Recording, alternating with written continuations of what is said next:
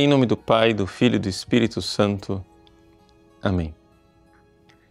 Meus queridos irmãos e irmãs, o Evangelho de hoje nos coloca diante da necessidade da oração. Jesus conta aquela parábola da viuvinha que insiste com o juiz iníquo que ela precisa que alguém lhe faça justiça. Mas por que é que nós realmente precisamos rezar? Veja, na teoria, a maior parte dos cristãos até, né, porque está lá na Escritura, diz orar sem cessar, é, rezar insistentemente, a gente até aceita essa coisa de que eu preciso rezar e que é bom. Mas, na prática, nós não estamos convencidos da necessidade vital para a nossa salvação de que nós precisamos rezar. Santo Afonso Maria de Ligório, no seu famoso livro sobre a oração, ele resume essa necessidade vital da oração dizendo assim: quem reza se salva e quem não reza se perde no inferno. E esta, diz ele, é a maior tragédia, o maior arrependimento das almas que estão condenadas ao inferno. Lá no inferno elas enxergam que teria bastado rezar para que elas se salvassem. Mas agora elas já não podem mais.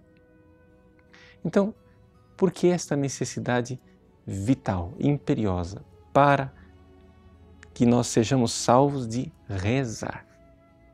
Bom, teologicamente, o que acontece é o seguinte: nós não somos pelagianos. O pelagianismo é uma heresia que diz que Jesus deu exemplo. Nós só precisamos seguir esse exemplo e basta. Nós temos em nós mesmos força para vencer o pecado, força para nos salvarmos, força para sermos santos. Pelágio era um santo, era um, perdão, um monge muito virtuoso e ele achava que as pessoas somente com força de vontade chegavam à virtude. Santo Agostinho, que viveu 32 anos como escravo do pecado, não podia concordar com Pelágio. Ele via, ele, faz, ele fez nele mesmo essa experiência, que eu acho que é a experiência da maior parte das pessoas que param honestamente para analisar o seu coração. A gente olha e diz: Meu Deus, se não for a tua graça, eu estou perdido. Se não for a tua misericórdia, eu estou perdido. perdido. Então, por que é que nós precisamos rezar? Nós precisamos rezar porque nós precisamos da graça atual. Ou seja, você se confessa, se mantém em estado de graça, só que o carrinho está lá bonitinho, zerado, foi para manutenção né, na concessionária, mas ele não anda ainda.